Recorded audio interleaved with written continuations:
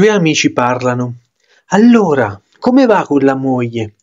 Ma guarda, andrebbe bene, solo che mi dice che sono infantile, che devo crescere. Perché? Che fai?